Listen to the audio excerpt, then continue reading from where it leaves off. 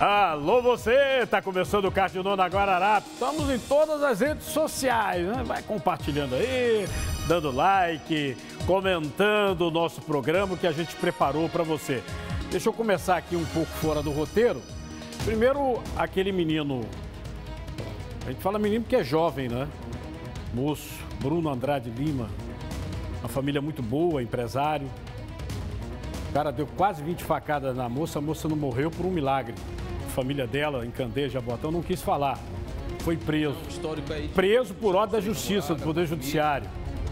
Eu estou colocando esse caso aqui porque essa semana nós tivemos muitos feminicídios e tentativas de feminicídios. E eu tenho que chamar a atenção porque esse rapaz, ele respondia a três processos. Num deles, o Ministério Público pediu a prisão dele, na Lei Maria da Penha, isso faz dois anos, e a Justiça não deu. E ele agora quase que mata a ex-namorada. Foi preso num condomínio muito luxuoso lá em Gravatar. Aliás, a gente fica assim, olhando, mas rapaz, não era esse menino aí que trabalhava nas campanhas políticas aí de, de um cara de gente grande, viu? Gente É. Outro caso lamentável foi o assalto seguido de morte num restaurante recém-inaugurado. Aliás, da rede, é o maior restaurante da rede do Brasil. É um grupo muito grande. Eu estou vendo aí que há muitas reclamações, porque o local é muito grande, a família dizendo que deveria ter pelo menos dois vigilantes. Eu digo para você, erro é da concepção de segurança. Um prédio enorme desse, você não tem que colocar vigilante do lado de fora. Você tem que colocar o vigilante do lado de dentro, ele lá fechado, monitorando as câmeras. Só na parte onde houve o assassinato, havia cinco câmeras. Se ele estivesse lá dentro, guardado, e visse a aproximação de pessoas suspeitas, ele chamava ou a empresa dele ou chamava a polícia. E não teria essa consequência danosa. Um cidadão jovem ainda, com mulher, com filha, morrer desse jeito, com dois tiros. Absurdo. A outra situação que tem que ser investigada também, o Sindicato Vigilante levantou, é que ele não estaria com colete à prova de balas. Sobre a questão lá do massacre de Pernambuco, nove pessoas mortas, ou chacina de Tabatinga, chacina de Camaragibe, como queiram, nós tivemos uma evolução na investigação esta semana. Houve a prisão de cinco policiais, sendo que dois cabos, três soldados. Mas uma coisa que não estão falando muito é que o Ministério Público solicitou e a Justiça atendeu o afastamento de mais sete. E no meio dos sete tem oficiais da Polícia Militar também. Oficiais. A informação é que no rastreamento telefônico, nos locais onde aconteceram execuções, execuções, os telefones desses policiais estavam presentes. Eu queria, inclusive, é, desfazer por justiça as vítimas, tanto os dois policiais que estavam numa ocorrência, quanto as famílias que perderam a vida. O rapaz que morreu, o caminhoneiro, esse aí, ele não tinha antecedentes criminais. Presta atenção, a arma dele era regularizada. Porque tem muita gente falando besteira. Ah, porque é bandido. Ah, bandido tem que morrer. Sim, meu filho, sim, mas ele não era. A arma dele era regularizada. A mulher dele que foi morta a tiros, executada. Não era bandido. A mãezinha dele não era bandida. Não. Os dois irmãos executados também não eram bandidos. Inclusive, queria lembrar para vocês que a menina grávida que teve a criança baleada na cabeça no IMIP, que morreu lá, ela que foi baleada também pelos policiais, não era bandida. O Ministério Público interpreta esse caso como vingança. O policial não pode se vingar. Tá me entendendo? Quer dizer que eu digo que você é bandido, aí uh, a sociedade acredita e pode matar você? É isso?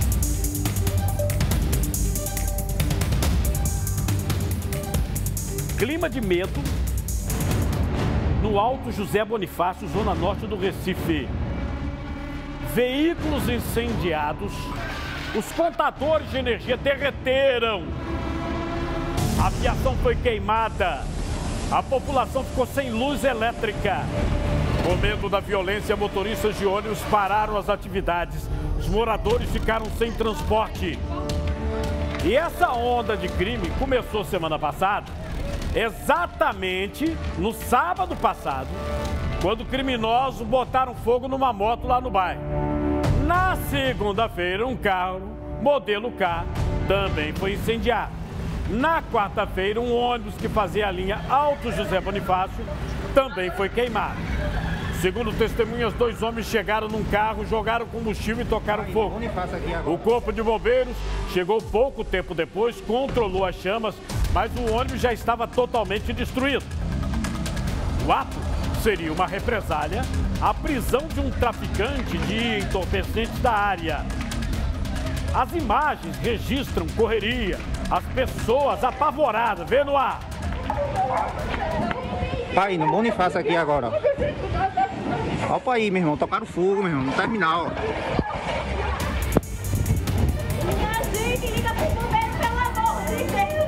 Rapaz, há muito tempo nós estamos vivendo no país uma violência sem limites. Não tem negócio de parecer tal coisa, é Pernambuco. Pernambuco está muito violento. Muito. Os moradores do bairro contam o que viram. Eu estava dentro de casa e daí eu começou a pegar fogo, sabe? Aí eu desci correndo dentro da minha casa, deixei o bujão ligado, televisão, tudo, e saí como louca, sabe? E eu gritei bastante e cheguei até desmaiar também. Com medo, né? Botou aquela escada grande ali, que é uma firma aí, né? Aí eu botei essa outra aqui, a gente saiu por aqui, fomos lá para trás, lá para rua. E quem ganha o sustento como motorista de ônibus falou da insegurança, vê? Tá difícil da gente trabalhar com essa situação que está acontecendo, mas a gente está inseguro com isso, né?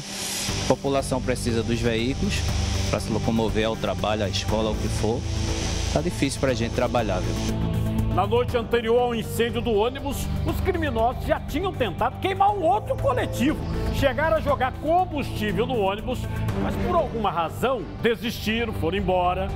Antes, saíram dando tiros para cima. Muito assustado, o motorista gravou um vídeo mostrando a situação. Aí, ó. Troquei o carro, o carro 846. Tô aqui no terminal do Bonifácio. ó. O carro cheio de gasolina aqui, ó. Tentaram tocar fogo no ônibus aqui, ó. Meteram gasolina aqui dentro do carro, tá ali a gasolina vazando. E deram quatro tiros pra cima aí. Beleza? Tô avisando aqui que eu vou recolher o carro, viu? Não tem condição de eu ficar rodando aqui não, que eu vou precar. Primeiro eu tenho que resguardar a minha vida. Em nota, a Polícia Civil informou que os fatos do Alto Zé Bonifácio já estão sendo investigados pela Delegacia do Alto Pascoal. Inclusive, está sendo apurado se tem vinculação com essa prisão desse traficante de 31 anos, prisão que aconteceu no sábado. Ele foi preso por tráfico de entorpecentes e posse ilegal de arma. A prisão foi efetuada pela Delegacia de Homicídios, o DHPP. Também em nota, a Polícia Militar informou que o policiamento na área, na vizinhança, a- o policiamento foi reforçado, presença contundente do GAT, de viaturas também de contra-resposta. Além disso, operações pontuais estão programadas no sentido de sufocar a criminalidade. Batalhão reforça a recomendação da população acionar o 190 sempre que notar alguma movimentação estranha à rotina. Eu tô lendo isso aqui e vou dizer, é tudo mimimi, né? blá blá blá blá blá blá, porque eles queimaram, queimaram, deram tiro, aí queimaram mais. Aí tome chumbo. Foi por isso mesmo. Tá entendendo? Não adianta negar, ah, de conta-resposta, não sei o que, não sei o que lá. Os caras, eles fizeram ah, esse negócio em plena luz do dia, na cara de todo mundo.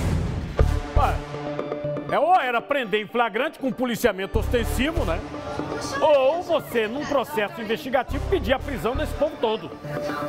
Fazer uma busca itinerante, isso já foi feito na época de Eduardo Campos aqui, operações com mandados de buscas itinerantes determinados pelo Poder Judiciário para prender esse tipo de criminoso. Criminoso que faz de uma comunidade um inferno. Um inferno. A verdade é essa. Polícia é inteligência. Não se combate violência com truculência. A truculência é do bandido, é do marginal. Polícia se, se, combate, a, se combate a violência com inteligência. Eu vou mostrar hoje aqui para você que não adianta a gente falar, olha, os bandidos.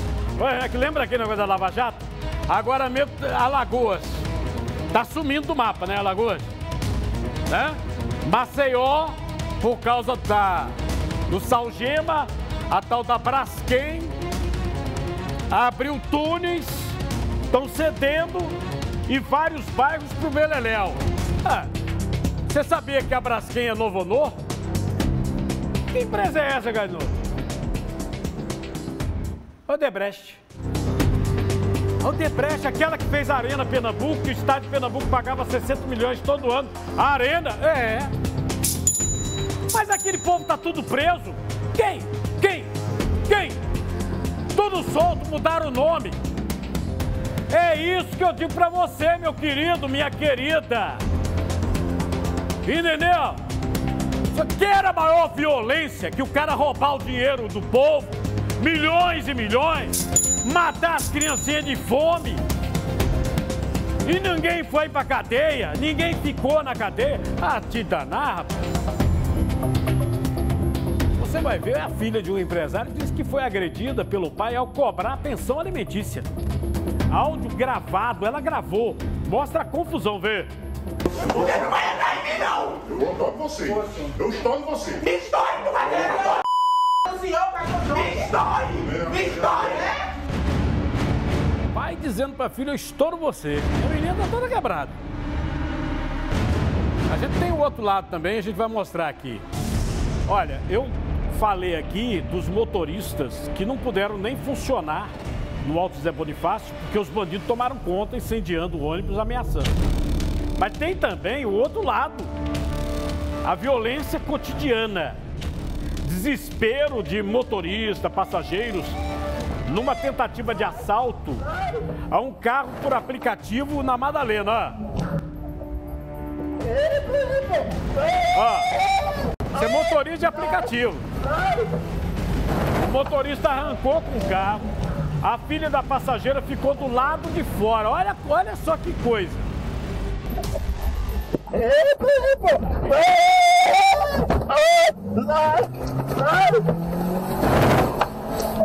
Você vê que nós temos aí latrocínio sendo investigado de motorista de aplicativo.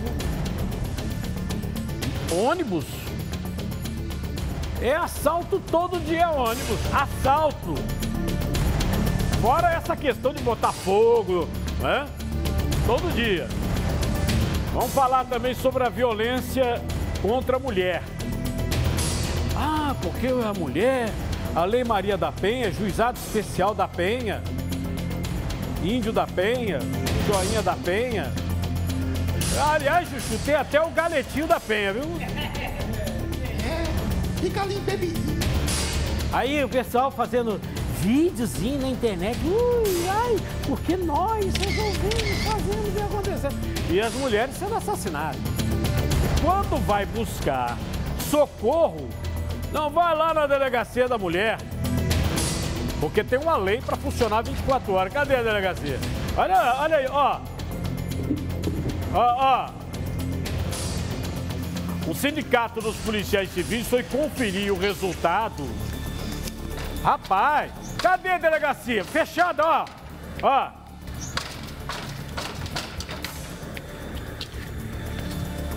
São muitas.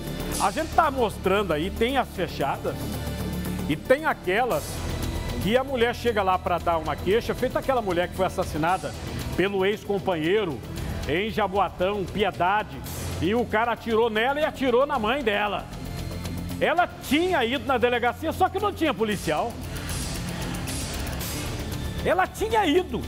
Na noite anterior não tinha policial na DP da mulher. Tem delegacia que chega lá só tem um agente. É guardador de prédio. Como é que ele vai dar apoio? Vai fazer uma busca porque o cara tá lá descumprindo uma medida protetiva? Isso é uma vergonha. E é o sindicato dos policiais que tá mostrando, governo. Você, Aí, ó. Delegacia do Surubim.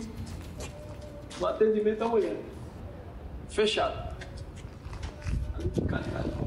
É o município. Eu tô inventando, rapaz. Eu tô inventando. Aí vem falando que a mulher, porque não sei o que, que não sei o que lá, cheio de conversa mole, rapaz. Não, e outra coisa, inaugura a delegacia, não tem policial pra botar dentro. Não, nós estamos inaugurando uma delegacia nova, tem policial. Não é por isso que os delegados empombaram agora recentemente, nós mostramos aqui? Sim, mas cadê o concurso para delegado? Tem que ter delegado. Como é que a delegacia não tem autoridade policial? Oh, ei! Você que é da área do direito, qualquer um. Autoridade policial. Autoridade policial. Quem é? A autoridade. É o delegado. Você não tem um delegado, como é que você tem autoridade policial dentro da delegacia? Amenizando. Você costuma decorar sua casa do Natal? Tá faltando uma semana, né? Dá tempo. É preciso ter cuidado com os enfeites que usam energia elétrica. Cuidado, viu? Nós vamos trazer algumas dicas aí para você fazer a decoração, mas com segurança. Entendeu? Porque tem essa, esse negócio que pisca, né, o, o, o... Não é não, ele falou um opa aí, não é um negócio que pisca. Na sua tribo tem esse pisca, pisca. Ei? Pisca, pisca. Ô, Chuchu, não é o pisca-pisca? É, não, eu vou dar um pisca-pisca, pisca-pisca, pisca-pisca. Pisca-pisca. Mas tem que ter cuidado, eu vou dar as dicas hoje. Você gosta de pimenta ou não? Aquela comida bem ardida, que sai a lágrima. Tem gente que adora, mas tem gente que nem suporta o cheiro de pimenta. Agora você vai ver a reação de um bebê de dois anos. Ele experimenta é, pimenta pela primeira vez. O vídeo viralizou. Será que ele vai comer essa pimenta não? Hein? Ó, ó, ele. Já, já tá com a pimenta na boca? É, daqui a pouquinho eu vou mostrar, eu volto rapidinho.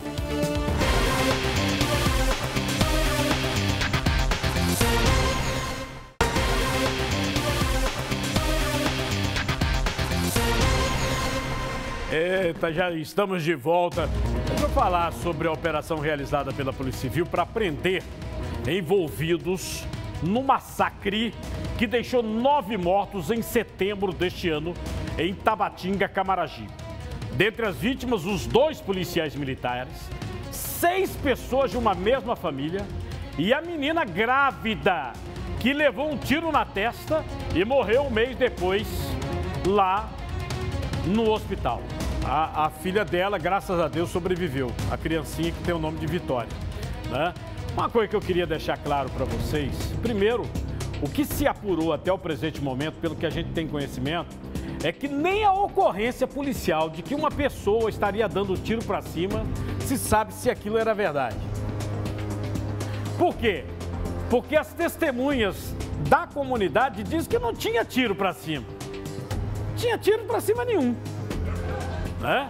E aí teve a história de que alguém estava dando tiro para cima. O rapaz, que é um caminhoneiro, esse aí que morreu, né? Ele não tinha antecedentes criminais, não tinha.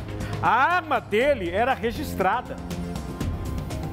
Então ele não era bandido. Não, não, não, você não chame ele de bandido, porque ele não era. Ele não tinha. O bandido é aquele que a gente diz, não, ele tem antecedentes criminais. O que se sabe que foram atrás dele, ele estava armado, ele se escorou na casa onde estava a moça grávida e lá dentro, isso está em apuração, os policiais atiraram, acertaram a testa da menina grávida. Ele atirou de volta e matou os dois policiais. Em seguida, o que se viu é o que o Ministério Público chama na denúncia de vingança. Para se vingar, os policiais mataram ele, mataram a mulher dele, a mãe dele, o, a, os irmãos, inclusive a menina, a irmã dele. Nenhum aí integrante da família do caminhoneiro, do Alex, tinha antecedente, gente. Nenhum. E tem ainda uma lesão corporal de natureza grave, tiro, que também está no bojo do processo, do menino de 14 anos de idade, que foi pego E eles dizendo que era suspeito, esse menino aí. Ele disse no GOI que o policial, do lado da viatura, deu-lhe um tapa. Quando ele caiu no chão, atirou nele. O tiro transfixou a cabeça. Foi um milagre ele sobreviver. Na frente de todos os colegas. Ele disse que teve um colega que disse que não participava daquilo. Para você entender que ninguém é contra aquilo, a favor de nada, meu. É a realidade do que aconteceu, que está sendo investigado pelo GOI e pelo MP. Foram expedidos cinco mandados de prisão contra policiais militares da Rádio Patrulha, 20 de busca e apreensão.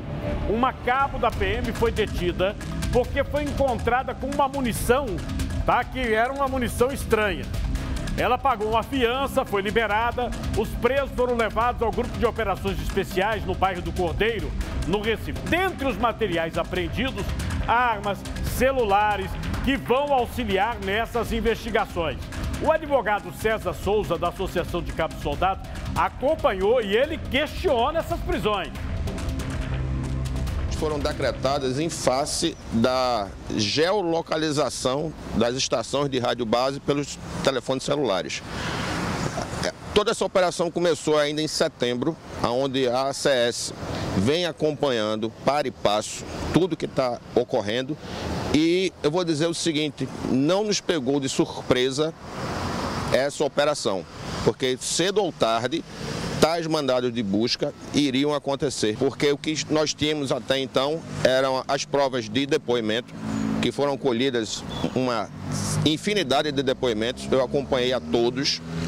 E agora, eles, com esses, essas buscas e apreensões, vão começar a serem desenvolvidas diligências para a prova técnica, que é WhatsApp, a, a quebra de dados. Agora, a razão para essas prisões é que nós ainda não estamos entendendo muito bem e o porquê dessas pessoas. O advogado Eduardo Moraes, que representa três dos PMs presos, também falou do caso. Vê.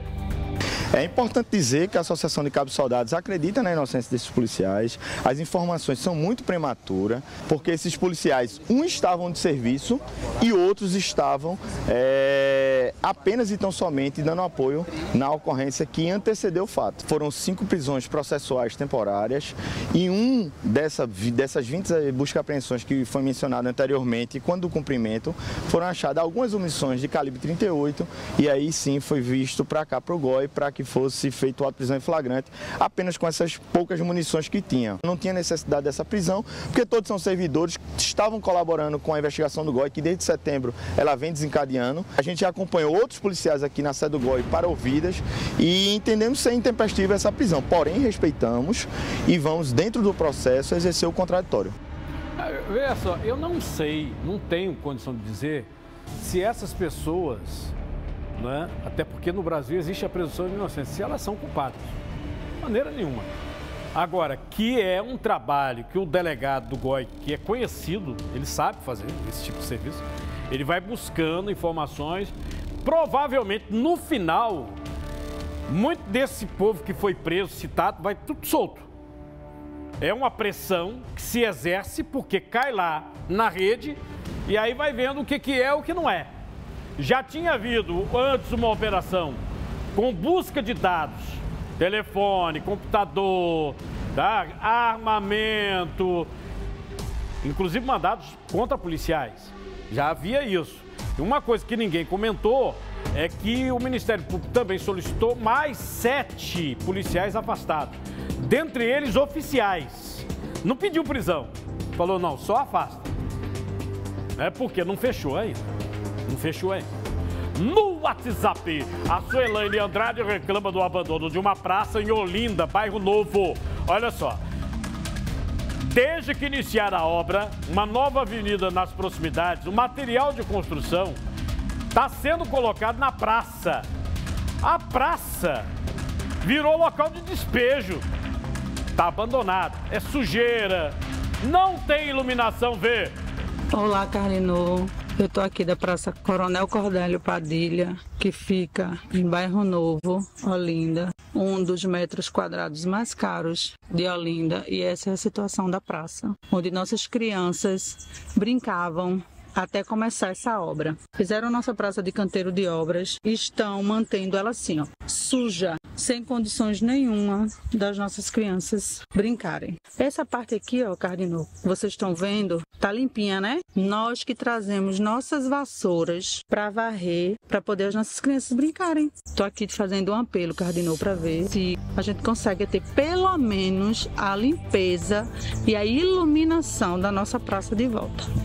Lembrando que em setembro deste ano nós tínhamos mostrado a escuridão nessa praça Coronel Cordélio Padilha.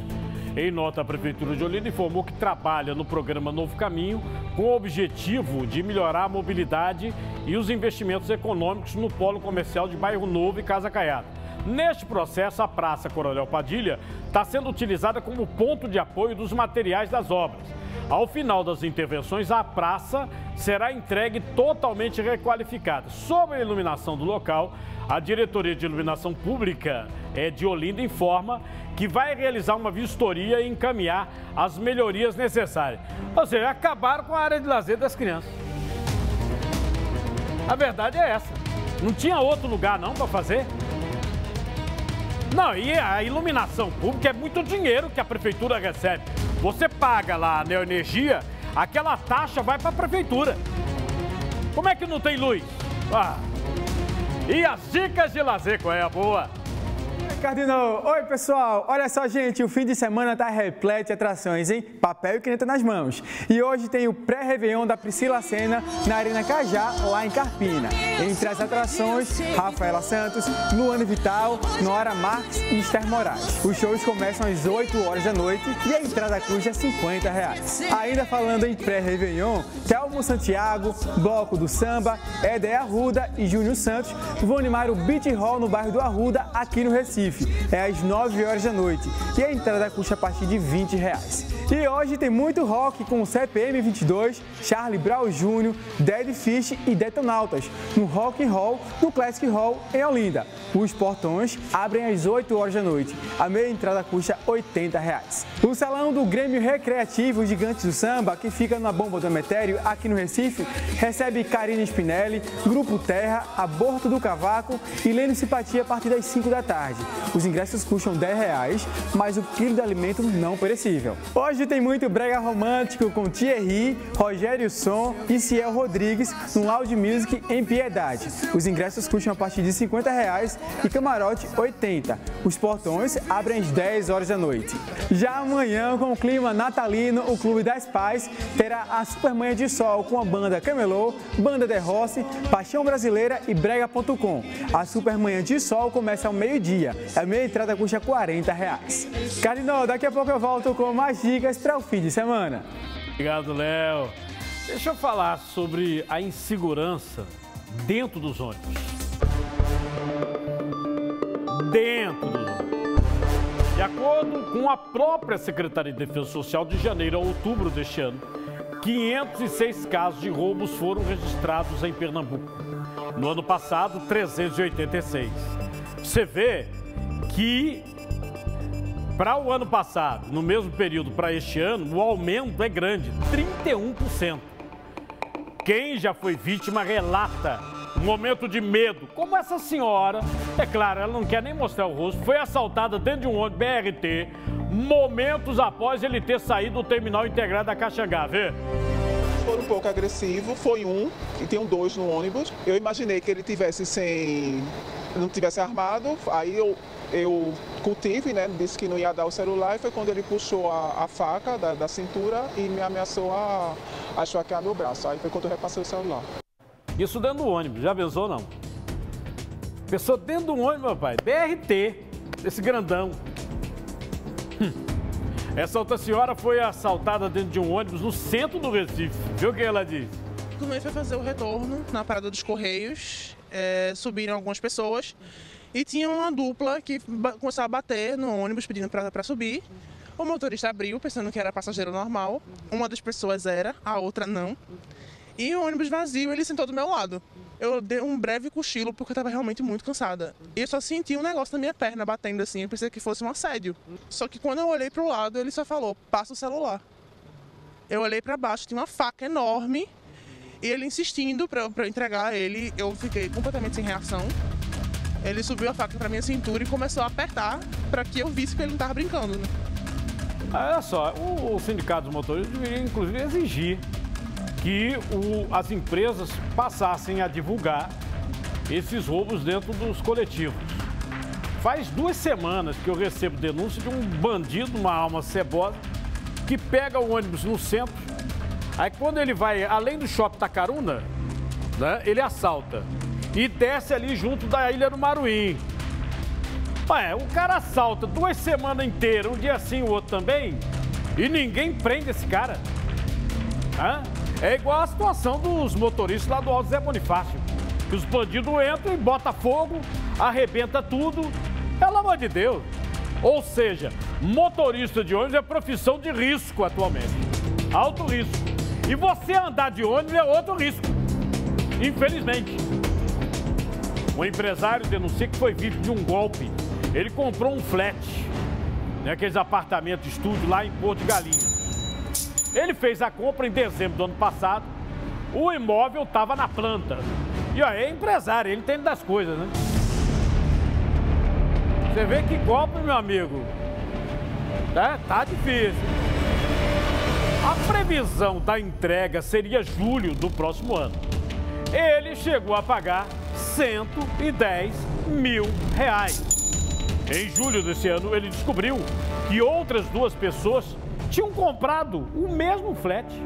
O dele, o dele, vê. Tentei vender minha unidade e, para minha surpresa, essa unidade tinha outros donos. Até hoje, três pessoas. A partir de, daqui a pouco pode até vir mais. Eles iam resolver que realmente tinha tido um erro, que iam me ressarcir de todo o valor, todo o dano, mas de lá para cá nada foi feito. Fizeram um acordo extrajudicial com meu advogado, com o advogado deles, fizeram um depósito fictício que no dia do pagamento hum, eles cancelaram. Então, assim, não tem intenção nenhuma, nem de construir, nem de entregar, e muito menos de resolver meu problema. Os dois donos têm problemas na justiça. Um já foi preso por crime de estelionato na vida de terreno, o outro tem um monte de processo de estelionato. A dona da construtora é uma blogueira que tem mais de 100 mil seguidores. E, para minha surpresa, eles estão soltos aí, continuam vendendo ainda as unidades. O negócio tá bravo, né? Porque não é um caso só. Nós temos vários casos dessas pessoas de estelionato, de golpe. Aliás, sabe aquele mega empresário pernambucano que foi preso na operação de desvio do Detran, que o, o- o Tribunal de Justiça decidiu mantê-lo guardado? Tem nego na política tremendo, né? Que o esquema dele era com prefeituras, né? Tremendo. A polícia investiga a morte do corretor de imóveis Diego Jesus Lopes, 36 anos. Ele saiu de casa dizendo que ia para o trabalho, foi no dia 27 de novembro. 11 dias depois, o corpo foi encontrado numa área de mata em Goiânia, zona da Mata Norte de Pernambuco. No último dia 10, a família tinha recebido essa foto aí, mostrando Diego com as mãos amarradas, sem camisa e com hematomas nos braços em um matagal. A morte do Diego ainda é um mistério para a família. A mãe conta que ele era um bom filho. A parte de mim, uma metade foi-se embora. A minha parte, a minha metade não tá mais comigo. E a minha metade é meu filho. Eu nunca pensei que eu fosse passar por isso. Nunca nessa vida, nunca. De repente foi comigo. Sabia que ele era um filho muito bom, me ajudava, né? A lembrança que eu tenho do meu filho é de um filho bom, abençoado. Meu Deus do céu. A tristeza, muita violência, né, rapaz? Pega, sequestra, manda foto pelo zap pra mãe. Manda foto pelo zap, ó. E aí ele é encontrado morto numa mata em Goiânia, aqui no estado. Você vai ver daqui a pouco, a filha de um empresário disse que foi agredida pelo pai porque foi cobrar a pensão alimentícia. O pai não pagava o dinheiro, né? E inclusive ela gravou o áudio, olha o trecho aí, ó. Você não vai entrar em mim, não! Eu vou em você. Eu estou em você. Dói, tu vai ter dói!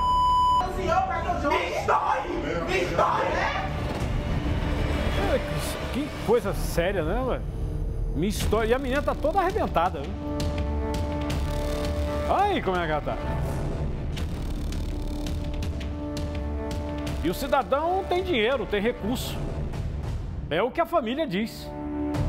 Você costuma decorar a casa? Dá tempo, viu? Mas tem dica aí para você usar energia elétrica, esse pisca-pisca. Cuidado, viu?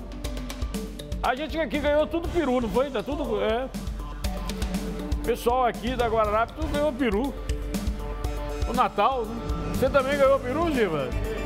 Aí a sobremesa, viu, do Natal. Olha aqui, pra mim, sobremesa. Para falar de biscoito recheado, a melhor opção a gente já sabe. É Futurinhos, simplesmente uma delícia. E tem de chocolate, morango, brigadeiro, tem o black com aquele recheio de baunilha e muitos outros sabores. É crocante por fora, macio por dentro e com tamanhos de opções para a hora do lanche, para dividir com a família. Futurinhos é da Capriche e é a marca do coração. Eu, hoje eu vim de, de, de, de pintinho amarelinho, né? É aquela música do Gugu, né? Meu pintinho amarelinho, usa aqui da minha... Aliás, toda hora que eu falo em pintinho, eu só lembro do galetinho, viu, ô, ô, Juju? Hoje é dia de galetinho, né? Confirmado, uma delícia. Tá confirmado. Hoje tem galetinho. Eu pago ou você paga hoje, Chuchu? Eu deixo por conta do índiozinho. Índio vai pagar com tacape e tudo. Que vergonha, pai. Um empresário investigado por agressão à filha de 17 anos durante a cobrança da pensão alimentícia. Segundo a denúncia, a agressão teria acontecido no local de trabalho do empresário, no bairro de Jardim São Paulo, Recife. Um áudio gravado mostra essa confusão no ar. Eu quero que o senhor pague a pensão! Ligue, ligue para advogado! Ligue! Vá por aí. Vá por aí. Você não vai entrar em mim, não! Eu estou em você. Eu estou em você. Me estoure, tu vai ter O senhor pega o jogo! Me estoure! Me estoure! Sai, vou- por favor, vou processar! Passa, passa. Opa, opa. Vem cá, vem cá. Cá. Opa. Saia, não Não venha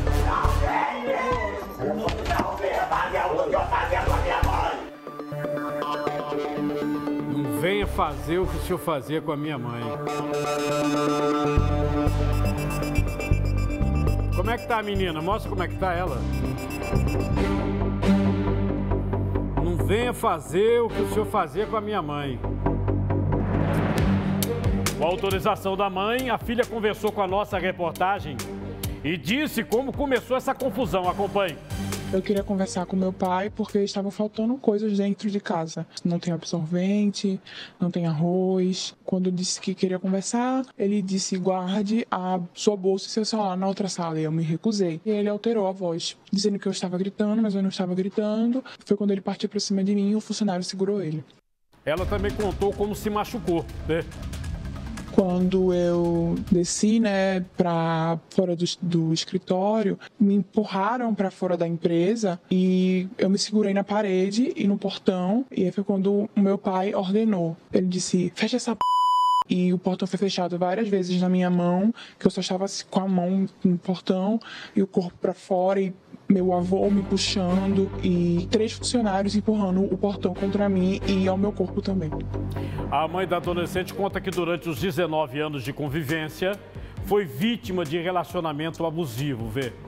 relacionamento abusivo com violência emocional, patrimonial, agressões físicas. Ele é proibido de chegar próximo a mim 250 metros, não pode ter, nenhum tipo de contato, inclusive já quebrou a medida protetiva enviando cartas para mim, de me, me ameaçando, fazendo a mesma tortura psicológica que ele fazia aqui, só que ele não está podendo fazer pessoalmente e enviou cartas, já foi anexado ao processo isso também. Tudo que nós trabalhamos, né, as empresas, ele me colocou para fora, né? Até acho que eu sou sócia, eu sou proibida de entrar, porque se eu entrar, ele, ele, ele já me ameaçou de morte.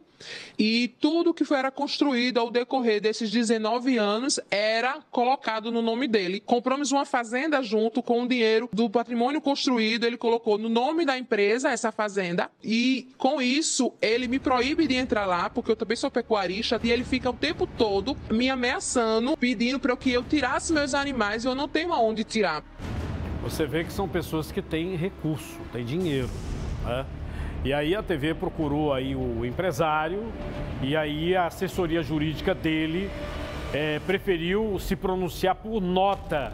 Segundo os advogados, o homem encontra-se profundamente consternado com todo o ocorrido.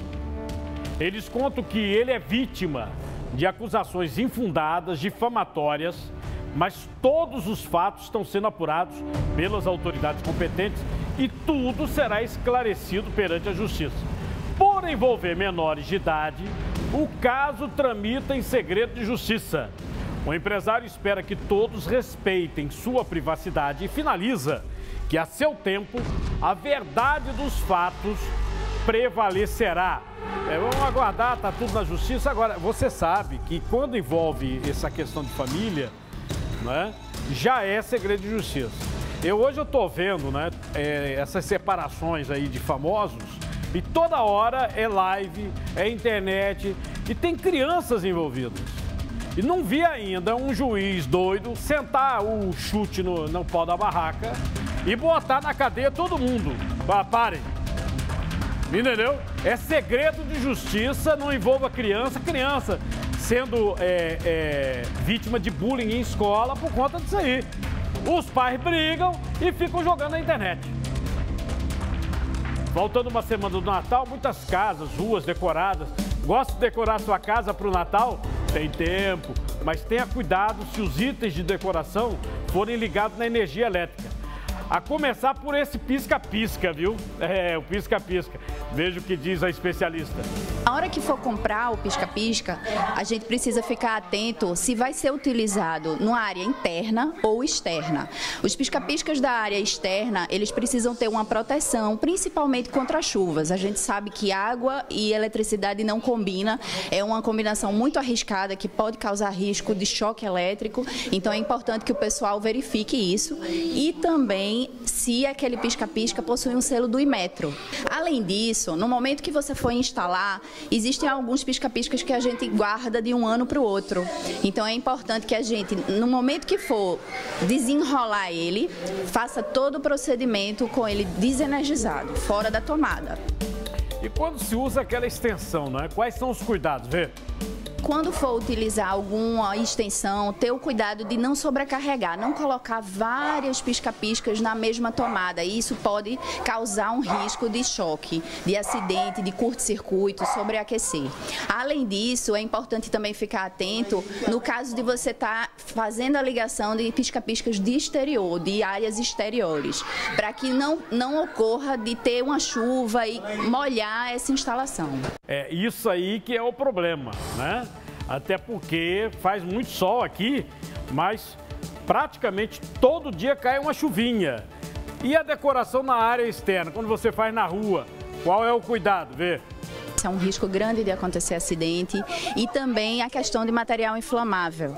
Por exemplo, algodão, MDF, é, materiais que podem acontecer de sobreaquecer e causar facilmente um incêndio. É linda ver a rua, né, toda iluminada, mas é importante ter a consciência de que todo mundo precisa passar o Natal bem, saudável e sem sofrer acidentes.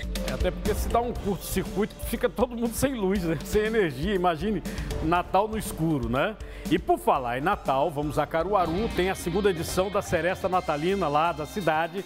A Ana Rebeca Patos tem as informações, Ana Rebeca. Pois é, Cardino, hoje será realizada mais uma noite de muita música na estação ferroviária, ponto turístico de Caruaru. Um grande público é esperado para a noite de hoje, não é? Desde o dia 14, que é realizada a segunda edição da Seresta Natalina na estação ferroviária. A programação de hoje começa a partir das sete e meia da noite com os veteranos, depois tem a Banda Rossi e por último, para encerrar o projeto Seresta Natalina, tem Iahu. Cardinô, eu volto com você. Você vai ver daqui a pouco a situação tá, de motorista de aplicativo, seus passageiros. Foi uma tentativa de assalto, toda ela filmada. Foi na Madalena, viu? O motorista arrancou o carro, a filha da passageira ficou do lado de fora. Vem aqui, olha a agonia, olha só, ó. A fi... Ele pra... A filha ficou para trás, ó. Tá vendo? É, é, assaltos a motoristas de aplicativo acontecendo assim, direto. Aliás, é assalto em tudo quanto é canto, né? Agora, o que tá morrendo também de bandido que tá saindo aí com pulseira eletrônica, viu? É uma loucura. A- aquele mesmo que a gente mostrou aqui, que pegou o cidadão em boa viagem, né? Um daqueles bandidos, eles. Parece que os compassas mesmo, viu? Trocaram tiro lá, mataram ele. Entendeu? O que tá morrendo também é uma loucura. A doideira. Daqui a pouco eu mostro completo aqui pra você, tá? Abriu os armários de casa, conferiu o estoque do seu negócio, ver tudo completinho, é bom demais, é ou não é? É por isso, o Mix Mateus preparou ofertas especiais no fim de semana, completão de Natal, para você entrar no clima do período mais mágico do ano, celebrando com muita economia e lucratividade. Passe em todos os setores da loja para não deixar passar nenhuma promoção imperdível, hein? Seja no açougue, peixaria, padaria, hortifruti, mercearia, bazar, higiene, limpeza e muito mais. Sempre tem aquela oferta que não dá para ficar de fora da sua lista de compras. Anote tudo, viu? O que estiver faltando aí nos seus armários. Vá agora no Mix Mateus repor tudo pelo menor preço, hein? Não perca tempo e aproveite essa super oportunidade de levar itens de qualidade que você já conhece e você confia. Natal do coração no Mix Mateus. Motorista de aplicativo e duas passageiras passaram por um momento de verdadeiro terror com uma tentativa de assalto na rua Professor Benedito Mo- Monteiro, no bairro da Madalena, Recife. As imagens de câmeras de segurança mostram o momento em que o motorista chega ao local de embarque. A primeira passageira sobe e, enquanto ele conversa com ela, homens surgem na rua. Um deles corre na frente do carro, um deles abre a porta e o motorista se desespera, arranca com o veículo. Aí o seguinte, a filha da passageira ficou do lado de fora, imagina, lá à mercê dos bandidos. Ela correu quando percebeu que era assalto. A mãe desesperada. Quando tudo passou, ela foi encontrada pela mãe. O motorista, que tem 48 anos, conta como tudo aconteceu, vê? Se atracou comigo no volante, ele conseguiu ainda entrar, ficou qua- quase colado comigo dentro do carro aqui. Aí eu peguei, empurrei ele, não lembro se eu morder ele ou quase que eu mordo ele pra tirar ele do carro. Eu empurrei ele, ele caiu, ele se jogou e eu fui embora. Quase que eu bato no trailer do, de, de lanche ali. Eu vi que ele não tava armado quando ele tentou, mas não se faz isso não. Eu digo pro pessoal aí ter cuidado, né? Não pode também fazer essas coisas não, porque se ele tivesse com a arma apontada na minha cabeça, infelizmente, hoje eu ou não tava aqui pra contar a história ou tava desesperado aí atrás do meu carro. É o que eu vivo dizendo para vocês. O cara, armado, berrado, né? Assaltando. Você viu aí também a gente mostrando os assaltos a ônibus, as pessoas falando. Aí é com faca e com revólver. Lá no Alto Zé Bonifácio, os caras entram dentro dos ônibus para botar fogo armados. Inclusive chegaram a dar tiros para cima. Eu pergunto para você, bandido alma cebosa, tem porte de arma não? Que é muito mimimi, muita conversa mole. Tire as armas dos bandidos, rapaz. Bandido tem porte de arma? Tem arma legalizada? Tem? Falar nisso, a polícia está investigando o assassinato do vigilante do restaurante no Deb, na Gamenon Magalhães. De acordo com as primeiras investigações, Claudemir Batista foi morto com dois tiros. Tiros a queima-roupa, viu? Um foi na testa e outro no peito. O crime foi na frente do restaurante. Ele já trabalhava nessa empresa há 17 anos. A arma dele não foi encontrada. A polícia trabalha com a hipótese de latrocínio. O roubo seguido de morte. Lembrando que eu, pelo menos, considero assim. Tem que investigar também. Ele estava sem colete à prova de bala. A empresa de vigilância teria que ter. Pelo tamanho do restaurante, que é o maior da rede, na Agamenon Magalhães, e pela quantidade de câmeras, que só na frente aí tem cinco, ele deveria trabalhar interno. E se tivesse alguma bronca do lado de fora, ele chamará- chamaria a polícia ou a empresa de vigilância dele. Seria o certo. Quando colocaram esse vigilante trabalhar na rua, dando ronda, botaram ele em risco. Porque bandido hoje não tem medo de vigilante armado, não. Não tem medo nem de policial armado. Assalto vigilante, assalto policial para roubar a arma. É isso que está acontecendo. Muitos casos de violência contra a mulher. A polícia está investigando a morte de uma mulher em Candeias, em Jaboatão dos Guararapes. O corpo de Dara Cavalcante Bezerra, de 27 anos, foi encontrado dentro da residência. O companheiro dela, de 33 anos, é o suspeito. Ele teria fugido e levou o filho de 8 anos do casal. De acordo com a família, o casal tinha um relacionamento com muitas confusões, com muitas ameaças. A mãe da vítima coma, conta como que encontrou a filha, vê? Eu tomei meu café ali, botei o café dele e fui terminar o meu. Aí eu olhei assim para a janela, a bicicleta ali, eu olhei, fui lá no quarto, as outras bicicletas, meu Deus, na hora dessa Dara não se levantou ainda para o trabalho. Ela dizendo que ia começar às seis e meia. Cheguei na janela, tomei, dei tudo do murro, no murro peguei uma pedra, bati, nada. Meu Deus, aí eu peguei a porta, a porta estava aberta, eu entrei, quando eu entrei no quarto, eu sentei na beira da cama, aí eu disse, Dara, ela nada de responder. Você vê, é um caso atrás do outro, dá uma dor no coração. Né? Essa é, é, violência repetitiva, essa vergonha do nosso país, essa vergonha. E geralmente é aquela história: não, se não for minha, não vai ser de mais ninguém. Ah, porque foi ciúme. Como se fosse dono, né? Porque essa questão é a da possessividade. É como se fosse um, um, objeto. Ah, é um celular. É meu! Essa desgraça do nosso país. No bairro de Água Fria, zona norte do Recife, a polícia investiga uma tentativa de feminicídio contra uma camareira de 36 anos. Ela tinha ido buscar o celular na casa do ex-namorado, aí começou a confusão. Ela sofreu uma fratura no maxilar ferimentos em outras partes do rosto, recebeu atendimento do SAMU, foi encaminhada ao Hospital da Restauração no Recife. De acordo com a família, o casal teve um relacionamento de quatro anos. Foram muitas brigas, muita violência, mas a mulher sempre escondia que era agredida por ele. Dessa última vez, a mãe e a irmã ouviram os gritos dela. Ouviu só ela falando com ele. E ela correndo atrás para poder pegar o celular dela. Então ele fechou a porta, foi quando ela saiu e ele não queria dar o celular e ficou batendo. Foi quando a gente ouviu os barulhos para poder descer e tentar ajudar ela de qualquer forma. Ela contou que ele levou uma, levou uma pesada, que ele deu um chuto nela para jogar ela mesmo para matar na escadaria. Ela estava sofrendo calada. Ele estava dando um choque nela, mas ela estava aguentando calada, para a gente não ouvir e não preocupar. Até chegar a cortar o braço dela com a faca, ele cortou. O braço dela era cheio de roncha, que ele batia nela. Só que a gente perguntava o que era, ela dizia que era o trabalho. Você vê, ela levando o choque, é o que está dizendo.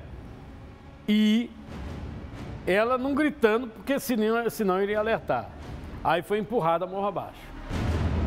Bom, aí após essa agressão, o homem se apresentou na delegacia da mulher e lá ele informou: não, não ela sofreu um acidente. Ele disse. Na delegacia da mulher, é, é o quê? Ela? Eu dei choque. Joguei ela. Não, ela sofreu um acidente. Ele foi autuado em flagrante por tentativa de feminicídio, mas foi liberado na audiência de custódia. A família da vítima está revoltada. Isso não era para acontecer, era para estar num hotel preso. E a gente vai correr atrás para resolver isso. O suspeito da tentativa de feminicídio é um técnico em refrigeração de 40 anos. O advogado dele deu uma outra versão sobre o caso. Ele pegou o celular né, da vítima e a vítima foi até a casa dele buscar o celular. Ele jogou o celular pela janela numa crise de ciúmes e ela jogou a chave contra ele e foi buscar o celular. Ele, muito acalorado pela discussão, jogou a chave de volta, batendo nas costas dela e ela vindo a se desequilibrar. Infelizmente, acontecendo esse incidente. Ele ficou muito abalado, porque em nenhum momento ele teve a intenção de machucar e quando ele viu que ela estava caída no chão, chamou os familiares dele para socorrer e imediatamente se apresentou à delegacia.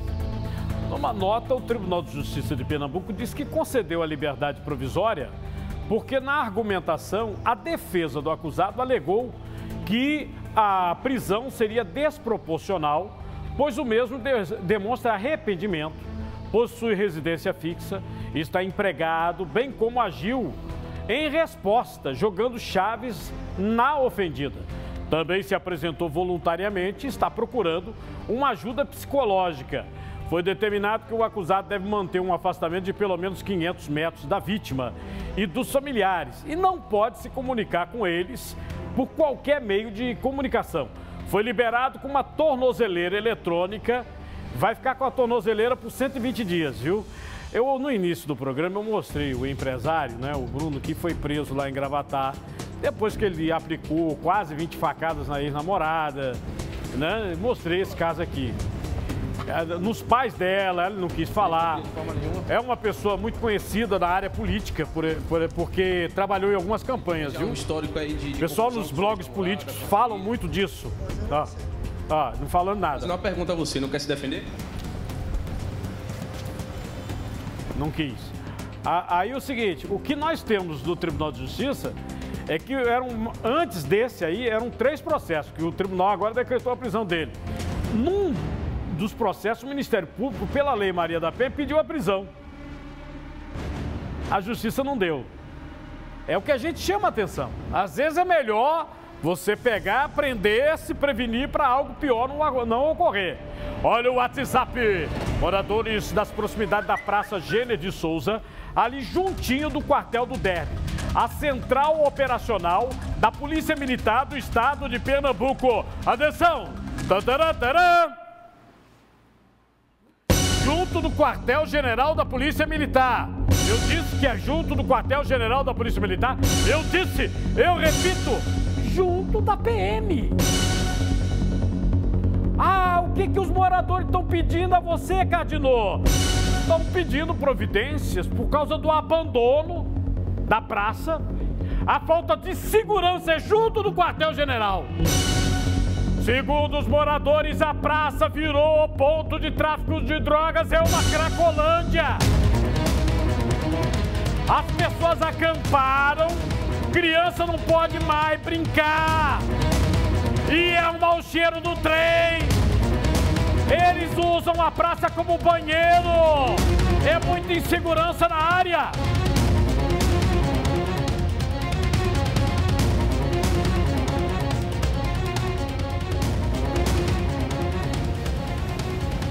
aí, rapaz. Junto do quartel.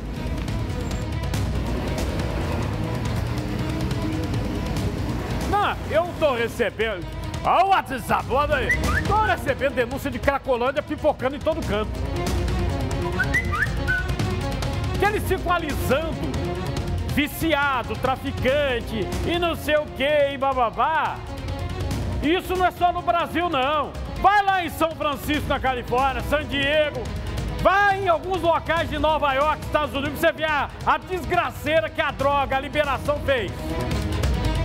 E aqui nem liberaram, estão pensando em liberar a maconha, né? Olha como é que tá a coisa aí. A Iluba informou que a praça. Vê, vê, vê, vê, vê se é verdade. Bota aí se é mentira ou verdade na minha rede social. A prefeitura informou que a praça recebe varrição, limpeza todas terças e quintas. A PM disse que a demanda foi encaminhada ao comandante do 13º BPM, responsável pelo patrulhamento do derby. O comandante do batalhão desencadeou uma operação com o Serviço de Inteligência Policial e constatou que as pessoas em situação de rua que habitam no espaço público passaram a receber assistência de uma ONG que fornece alimento. Com isso, um fluxo maior de pessoas foi atraída. e que qualquer denúncia você liga para o 190. Uma ONG dessas, desculpe, mas igual essa, esse programa que fizeram aí, que vão dar dinheiro para organização não governamental. Começa a dar comida lá, não tira ninguém. Fala, não, a gente vai te dar um quarto, sai daí. É uma moradia, sai daí. Não. Fornece comida, aí os caras fumam tudo que não presta, injetam tudo que não presta e o povo apavorado. Esse mundo tá uma desgraça, não tá? Hein? Não é desse jeito que se faz bondade, não. Você não tá tirando ninguém do vício, da esculhambação. E isso é jeito de viver? Defecando na praça, fazendo xixi na praça, junto do quartel-general da PM. É igual a Maciel Pinheiro que eu mostrei um homicídio outro dia que tem o casarão de Clarice Lispector, que tem um monumento, um chafariz, virou uma esculhambação, outra Cracolândia. E a prefeitura, epa, faz nada. E o governo, epa, não faz nada. E vai piorar, hein? Vai piorar, tô te dizendo.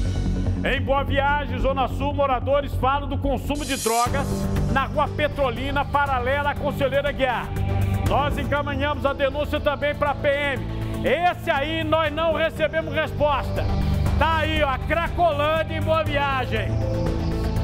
Vai dizer que tem outro também dando comida, que é isso, é? Porque à noite com um monte de casinha no chão lá também. Um estado rico, uma prefeitura do Recife rica. Pega, fala, não, aqui não pode ficar. Tem um abrigo. A gente paga o abrigo. Vocês pagam um aluguel caríssimo prédio inteiro para botar secretaria dentro do prédio. Você não tem lugar para botar morador de rua. Vá conversar.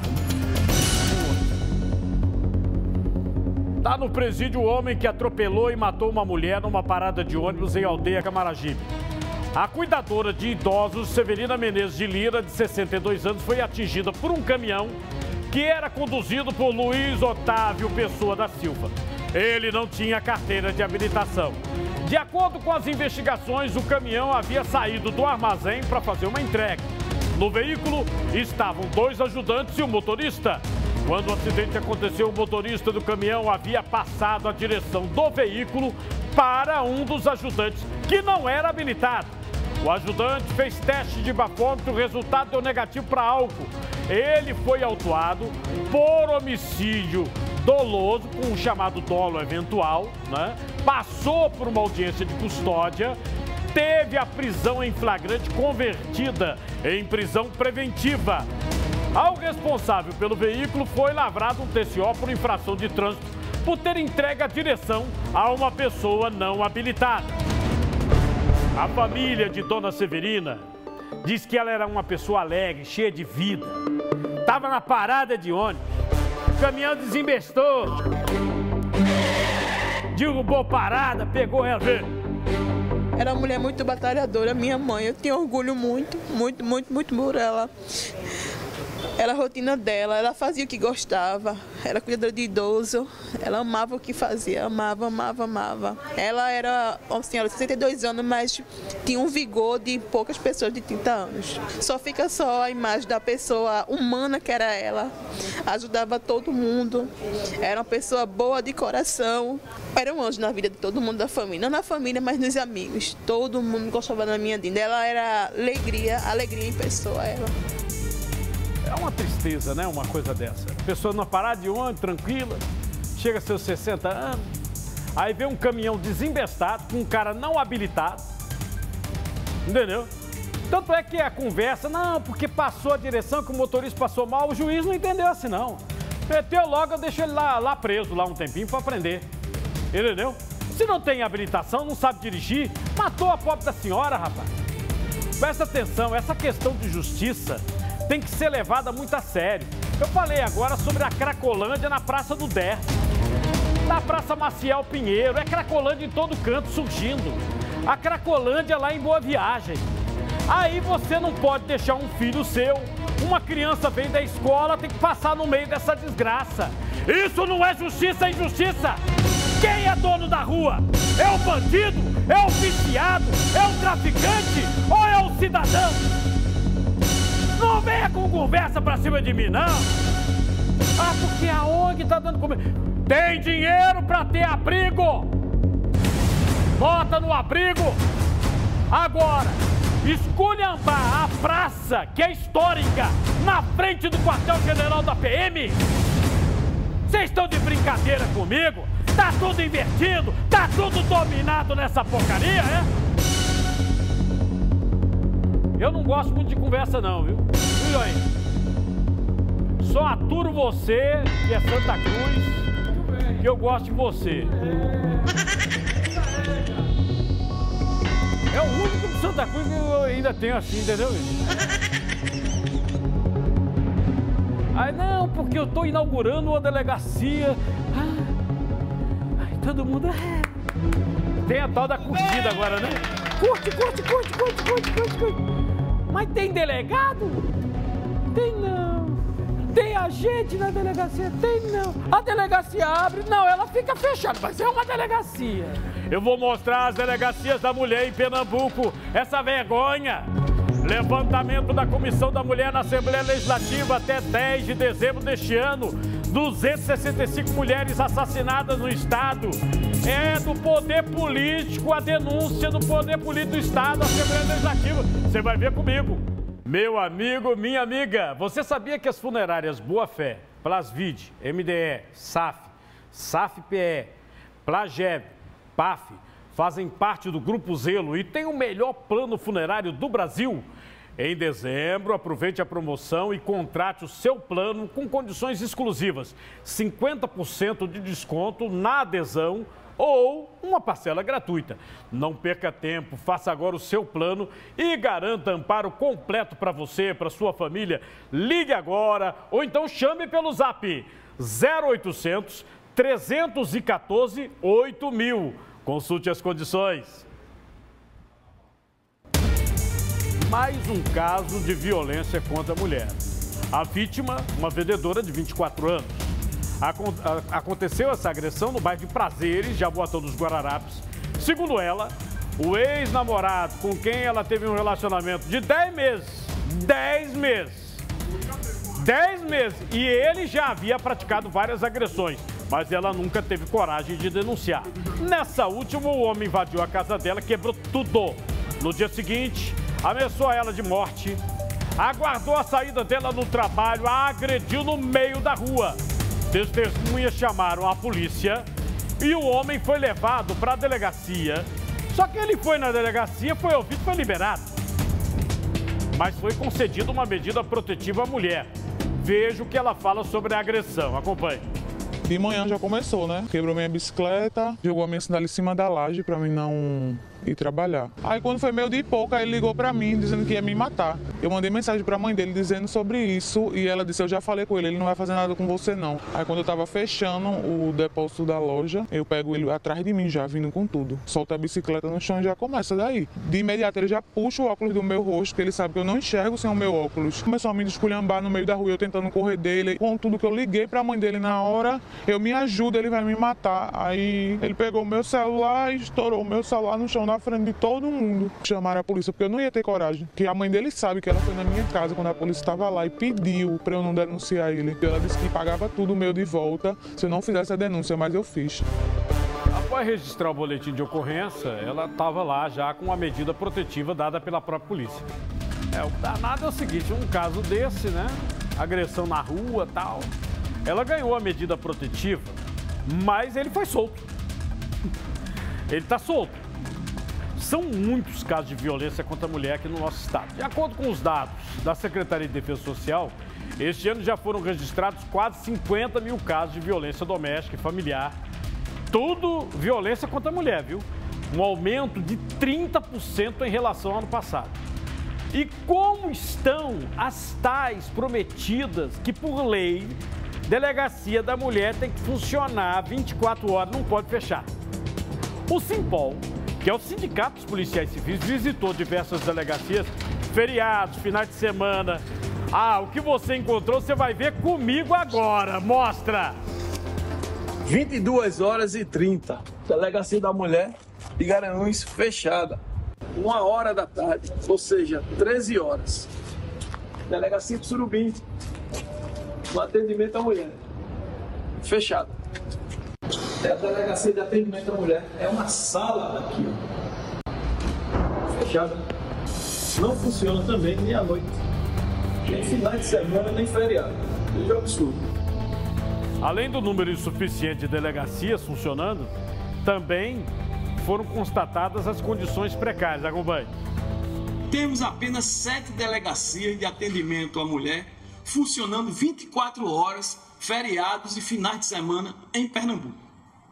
E mesmo assim, das delegacias que estão abrindo, muitas estão funcionando precariamente, como por exemplo a delegacia de Ouricori, com apenas uma policial no atendimento e sem delegado ou delegada titular. No papel, são 17 delegacias, mas na prática, Pernambuco conta com apenas 15 delegacias de atendimento à mulher. É uma vergonha. A Associação dos Delegados já tinha alertado sobre isso. Não adianta ficar fazendo é, aquele negócio para ganhar like, né? Aquela propaganda de internet, estragão, Facebook, Twitter. Para ganhar like. Aí a, a mulher chega na delegacia, delegacia fechada, surubim, fechada. A mulher chega na delegacia, só tô eu aqui. Ah, mas o, o cara tá ali. Mas não dá para eu buscar porque só tô eu aqui. Só tem uma gente. É cuidadora de prédio. É vigilante de prédio. A Comissão da Mulher na Assembleia Legislativa de Pernambuco apresentou os trabalhos dos parlamentares no combate à violência contra a mulher. Segundo o levantamento da comissão, a comissão lá da Alep, até o dia 10 de dezembro deste ano, 265 mulheres assassinadas aqui no estado.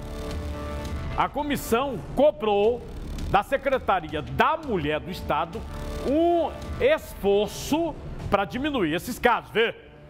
Num plano Todos pela Segurança, é, foi colocado um eixo lá específico para a violência contra a mulher. Então, isso já é uma resposta é, do governo a esse número crescente de violência doméstica contra as mulheres. Porque o que, é que a gente queria saber? O que, é que vai ser feito para 24?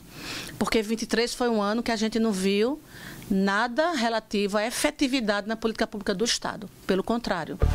E a gente fez alguns questionamentos. Como é que só tinha quatro casas-abrigos, que é muito pouca, e fechou uma, só ficou três? Tinha quatro, fechou uma, ficaram três. Não, e essa questão da delegacia?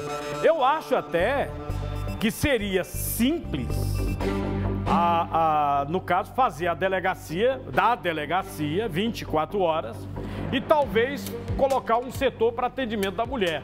Porque não tem policial para vocês ficarem fazendo politicagem.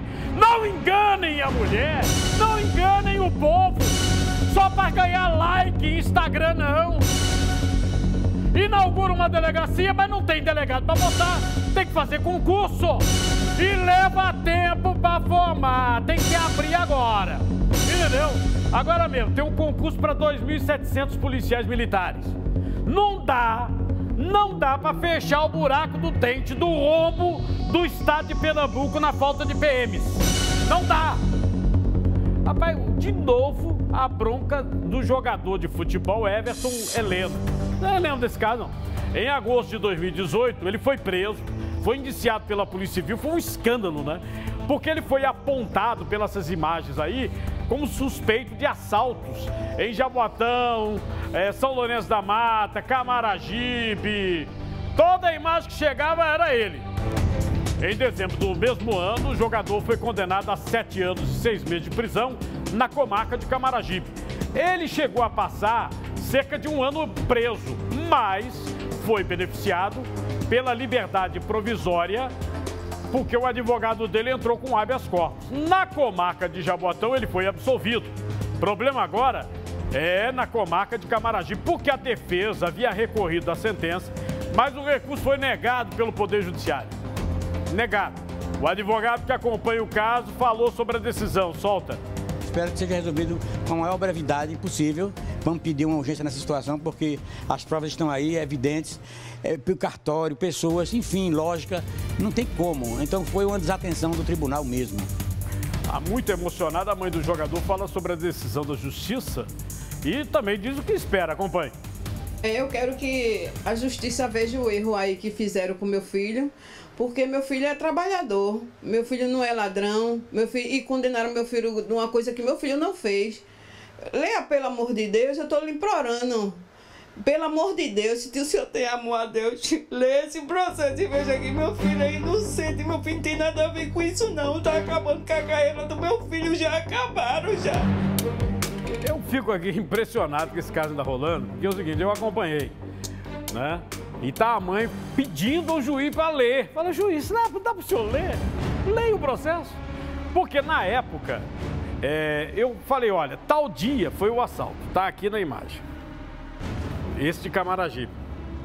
Aí tem uma imagem dele no elevador em São Paulo no mesmo dia. Como é que ele poderia estar assaltando se ele estava em São Paulo? Na época, eu lembro que eu comentei mostrei as imagens, eu tinha essas imagens aqui. Everton Heleno tem 33 anos, foi revelado nas categorias de base do esporte, passou pelo Santa Cruz, Atlético Goianiense, CSA, Botafogo da Paraíba, Mirassol, Asa de Arapiraca. Atualmente está na Luverdense. Veja o que ele diz dessa decisão da justiça. Solta.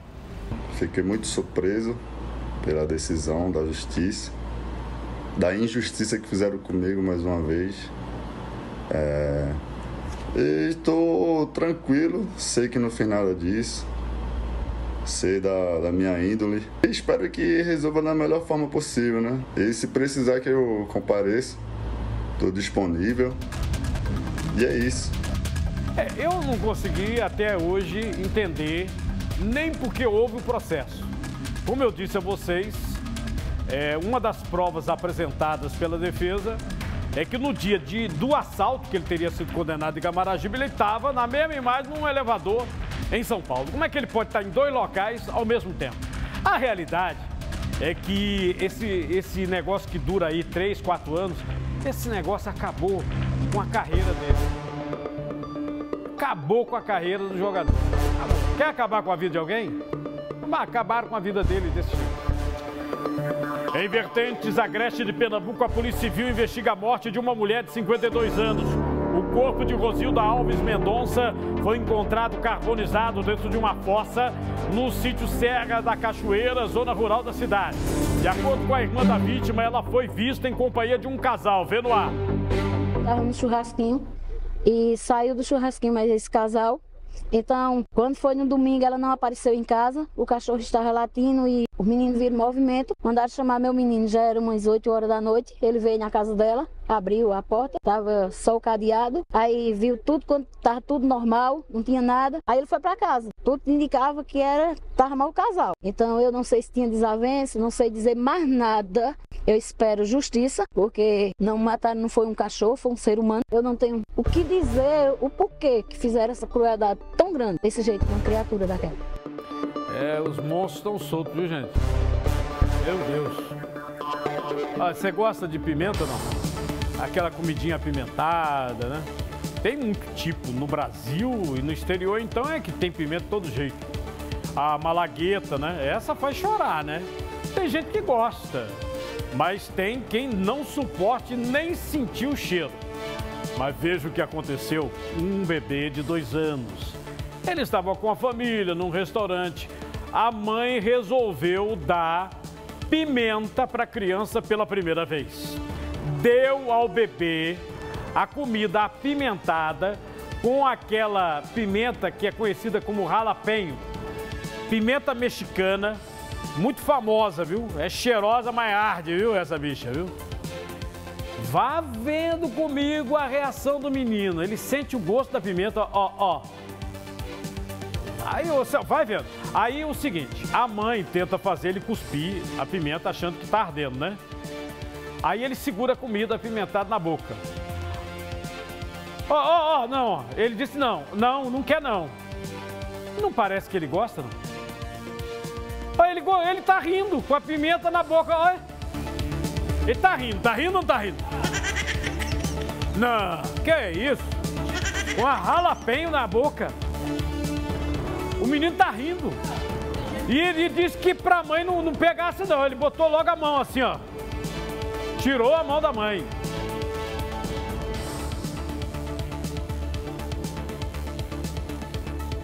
Esse garotinho, né? Ele é mexicano. O nome dele é Maverick. Feito o Tom Cruise naquele filme, naquela série, né? Pois bem, o vídeo viralizou, milhões de visualizações. Tá, ele não teve problema nenhum de saúde ao consumir essa pimenta. Mas nem todo mundo tem a mesma sorte, né? Lembro recentemente o garoto de 14 anos que morreu porque participou de um desafio na internet para comer tortilhas apimentadas, lembra não? Ele tinha que comer o maior número de tortilhas no menor espaço de tempo. Foi nos Estados Unidos. E o caso aqui do Brasil da menina, coitada, que cheirou pimenta, lembra do caso? E que até hoje está lá é, na cama, né? Porque teve um dano cerebral. Ela tinha uma alergia e ela cheirou. Ela só cheirou a pimenta, tá? Mais dicas de lazer. E aí, Léo? Agora vamos falar sobre teatro. O humorista pernambucano Rodrigo Marques promete muita diversão com o show Estamos Vivos no Teatro Guararapes neste sábado às 8 horas da noite. Os ingressos custam a partir de 45 reais. Agora vamos falar sobre cinema. Em Tá Escrito, Alicia acha que os astros erraram com ela até que um dia ela recebe um livro em branco, apenas com instruções que prometem que qualquer previsão astrológica escrita naquelas páginas se concretizará. Agora ela tem o poder e influenciará a todos com as previsões que agora ela tem acesso. Classificação indicativa: 12 anos. Depois que um tumulto numa liquidação acaba em tragédia, um assassino misterioso, fantasiado de peregrino, aterroriza a cidade de Plymouth, em Massachusetts, nos Estados Unidos, cidade berço do feriado americano de ação de graças. Feriado sangrento tem classificação indicativa 18 anos. Para você rever essas e outras dicas, acesse nosso site tvguararapes.com.br. Até mais! Até mais, Léo. Olha, vê a ousadia. No Janga, paulista, ladrões utilizaram uma corda para amarrar um carro no outro e roubar. As imagens são de um circuito de segurança mostrando a ação. O carro roubado, um Corsa Azul 1988, que é um carro de valor afetivo, deixado como herança pelo pai do proprietário. E os caras lá roubaram, vem comigo. Não tem preço um, um automóvel que foi do nosso pai, né? A gente estamos todos aflitos, né? E vamos torcer que as coisas caminhem de forma contento. E daqui a pouco vai ter o Pablo Venenoso aqui no programa, os venenos da semana. Uma sensitiva famosa faz uma revelação bombástica. Seria uma reviravolta no namoro do Neymar. Opa! O Neymar tá namorando ainda, né? Com quais? Não, eu só tô perguntando, Cardozinho. Não quer ofender ninguém.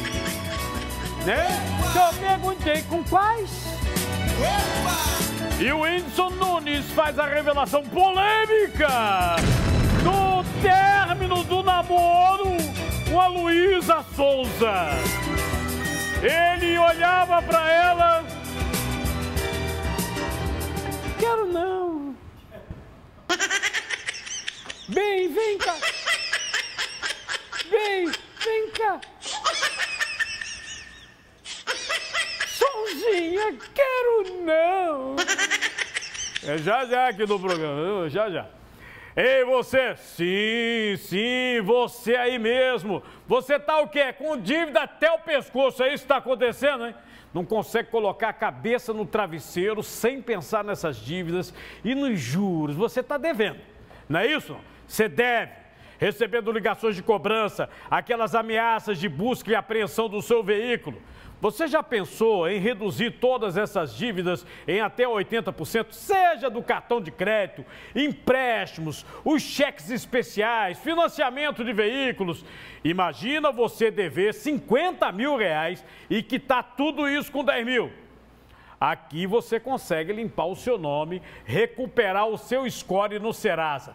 É bem mais fácil do que você imagina. É só entrar em contato com a Invicta Assessoria. A Invicta tem um time de profissionais capacitados para tirar todos os juros abusivos da sua vida. E o melhor de tudo, sem pagamento antecipado. É isso mesmo. Na Invicta você só paga quando reduzir a sua dívida. Tá esperando o quê, rapaz? Só ligar agora. 81 3201-9176. Quer explicar a dívida? Manda pelo zap, hein? Olha o número: 81992135125. Seja pelo zap, pelo telefone, tá tudo na tela. Estamos de plantão agora esperando o seu contato para uma consultoria totalmente gratuita. Segue a Invicta no Instagram, arroba invicta.assessoria. Repetindo o número para você ligar agora, 81 3201 9176. Manda no zap, olha a mensagem, 819 9213 5125. Invicta Assessoria é a solução perfeita para as suas dívidas. Os venenos da semana. Vai, Pablo Venenoso! É isso aí, Cardinô. Boa tarde. Boa tarde, gente? Para você acompanhando aqui o Cardinô na Guararapes. Bora girar com as notícias dos famosos. Cardinô, a gente começa essa ronda com o assunto da semana, que foi aí, né, a participação do Whindersson Nunes na série documental da Luísa Sonza. Ele deixou claro que o divórcio, o desquite, a separação partiu por parte dele. Segundo o Whindersson Nunes, após uma viagem, né, ele foi se distanciando, foi utilizando drogas e foi se perdendo Agora, o que gerou revolta na internet é porque na época que foi anunciado é, a separação do ex-casal, muita gente aí acusou Luísa Sonza de ter traído o Nunes com o Vitão, que na época foi até chamado, viu, Cardinô, de talarico. Muita gente aguarda e a internet está louca aí por essa, por essa volta, até porque ele deixou bem claro que continua gostando sim de Luísa Sonza. Agora, a gente fala, Cardinô, de um assunto também que está repercutindo envolvendo a Lene sensitiva, que fez uma previsão bombástica envolvendo simplesmente o Neymar, viu? Que vai fechar, inclusive, 2024 com patrimônio é, ultrapassando 4,2 bilhões de reais. Agora, a gente sabe que Neymar, ele vive aí nos tabloides de fofoca, não só por, pela fama de caicai e balão, mas também pelas inúmeras né, puladas de cerca. Recentemente até, Cardinô, a Bruna Biancardi anunciou o seu término com ele após mais uma suposta traição sendo que a Lene fez uma previsão bombástica. Segundo a sensitiva aí queridinha do mundo dos famosos, Neymar, ele vai se envolver com uma celebridade internacional, é. Mas dessa vez ele, que está acostumado a quebrar corações, vai ter o seu despedaçado. Segundo Lene, ele vai ser traído, a história vai vir a público e ele vai ficar mauzão, né? Lene fala que, na verdade, é as voltas que o mundo dá. Durma com a bronca dessa. Cara, com 4 bilhões na conta, né? Vai ficar muito chateado. Eita, tá chegando ao final. Muito obrigado a todos vocês. Bom final de semana, bom sábado.